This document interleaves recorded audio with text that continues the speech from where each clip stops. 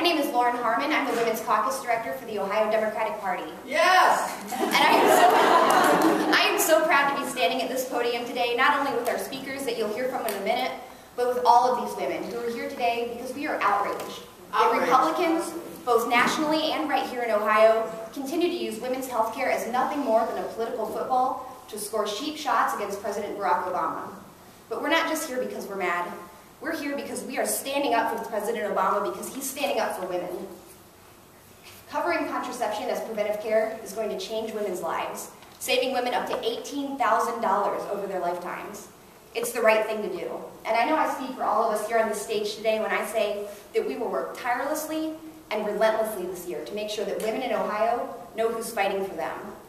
With that, I'd like to introduce State Representative Nancy Garland, who sits on the House Health and Aging Committee and is also the chair of the Ohio House Democratic Women's Caucus. Yes!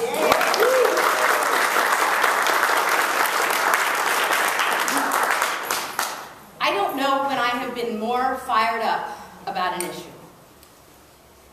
And I mean, I have to say to you, can you believe it? No. Can, No. can you, can you believe that we had somebody yesterday say that we should go to the way they did in the old days with an aspirin between your legs? Can you believe they said that? Can you believe they had a, a hearing on this issue in Congress yesterday and not one woman was on the panel? Can you believe that? I, I, to me, again, I don't know when I've ever been quite as fired up as I am today. We're angry.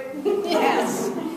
But bottom line, as Lauren just said, and I am the president of the Ohio House Democratic um, Women's Caucus, and these issues are very important to us, enough is enough. Yes. We Yes, are yes.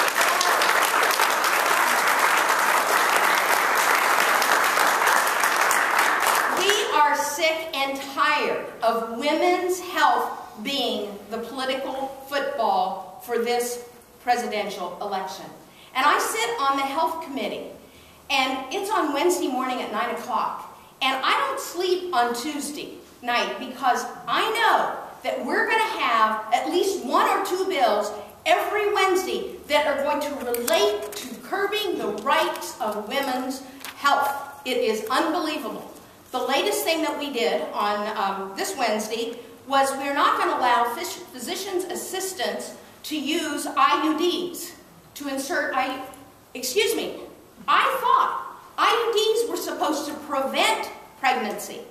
I thought that we actually were trying to prevent the need for abortions. So what is this really about?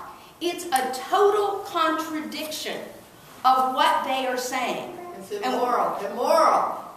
We need to stop this. This is all, and it, it means every one of us in this room have got to go out there to talk to their friends, to their neighbors, because this is just a total attack on, on women's rights.